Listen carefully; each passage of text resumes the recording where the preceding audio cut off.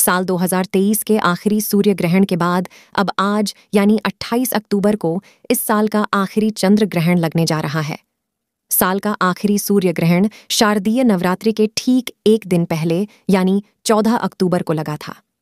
आखिरी सूर्य ग्रहण के ठीक 14 दिन बाद आज शरद पूर्णिमा पर चंद्र ग्रहण लगने जा रहा है। शरद पूर्णिमा का हिंदू धर्म में बहुत ज़्यादा महत्व है। शरद पूर्णिमा की रात चंद्रमा से निकलने वाली किरणें अमृत के समान मानी जाती हैं। यही वजह है कि इस दिन लोग खुले आसमान के नीचे खीर बनाकर रखते हैं। हालाँकि इस बार शरद पूर्णिमा पर चंद्र ग्रहण की छाया पड़ने के कारण आसमान से अमृत नहीं बरसेगा। तो क्या बरसेगा जानेंगे पूरी खबर। लेकिन इससे पहले आपसे छोटी सी रिक्वेस्ट है कि पूरी जानकारी के लिए वीडियो अंत तक ज़रूर देखें। और यदि आप चैनल पर नए आए हो तो चैनल को सब्सक्राइब करके वीडियो को लाइक और शेयर ज़रूर करें दोस्तों। बात करते हैं कि क्यों लगता है चंद्र ग्रहण सूर्य के चारों तरफ़ पृथ्वी घूमती है और चंद्रमा पृथ्वी का चक्कर लगाता है। इस प्रक्रिया में एक ऐसा समय आता है जब चंद्रमा पृथ्वी और सूर्य एक ही सीढ़ में आ जाते हैं और सूर्य का प्रकाश पृथ्वी पर पड़ता है, लेकिन चंद्रमा तक नहीं पहुँच पाता है। इस घटना को खगोलीय घटना के रूप में चंद्र ग्रहण कहा जाता है। चंद्र ग्रहण का समय, ग्रहण का स्पर्श, रात एक मीन पाँच बजे, ग्रहण का मध्य, रात्रि एक चौ चवालीस बजे, ग्रहण का मोक्ष, रात्रि दो चौ चौबीस बजे, ग्रहण का सूतक, दोपहर चार पाचो पाँच बजे, शास्त्रों में ग्रहण के दौरान सोने से भी मनाही है ऐसा करना अशुभ माना गया है। साथ ही इस दौरान पेड़ पौधों को भी स्पर्श नहीं किया जाता है। इसके अलावा ग्रहण के दौरान न तो पूजा करनी चाहिए और न ही मंदिर का पट खुला रखना चाहिए। चंद्र ग्रहण के दौरान गर्भवती महिलाओं को घर से बाहर नहीं निकलना चाहिए। मान्यता है कि इससे गर्भ में पर रहे शिशु पर नकारात्मक प्रभाव पड़ सकता है। साथ ही चंद्र ग्रहण के दौरान गर्भवती महिला को नूकीली या धारदार चीज़ों के इस्तेमाल से बचना चाहिए। वहीं धार्मिक शास्त्र में ग्रहण काल को शुभ नहीं माना जाता है। धार्मिक मान्यताओं के अनुसार ग्रहण के दौरान घर से बाहर भी नहीं निकलना चाहिए, क्योंकि इस दौरान प्रकृति में कुछ समय के लिए विचित्र सी शक्ति उत्पन्न होती है, जो कि सभी प्राणियों पर प्रभाव डालती है। इसलिए इस समय घर से बाहर निकलना और ग्रहण को देखना अच्छा नहीं माना जाता है।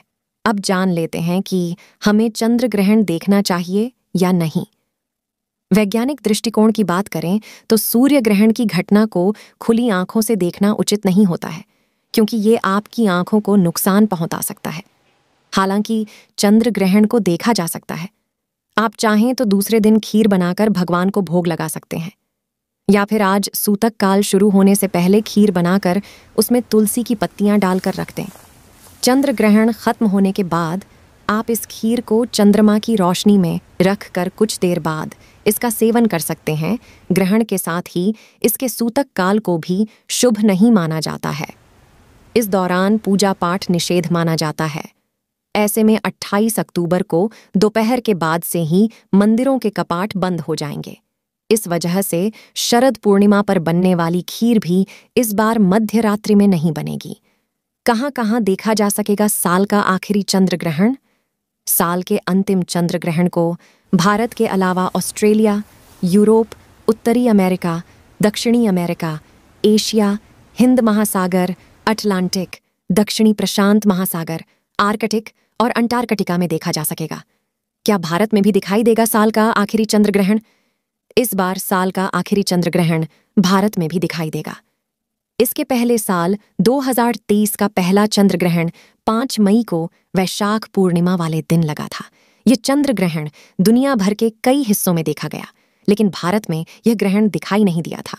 भारत में कितने बजे लगेगा चंद्र ग्रहण पंचांग के अनुसार चंद्र ग्रहण 28 से 29 अक्टूबर को रात्रि ज़ीरो वन बजकर ज़ीरो छह मिनट से शुरू होगा और देर रात्रि ज़ीरो दो बजकर बाईस मिनट पर समाप्त होगा। कुल मिलाकर एक घंटे और सोलह मिनट का चंद्र ग्रहण लगेगा। वहीं उपछाया से पहला चंद्र स्पर्श रात ग्यारह पेटिस्तान पर है।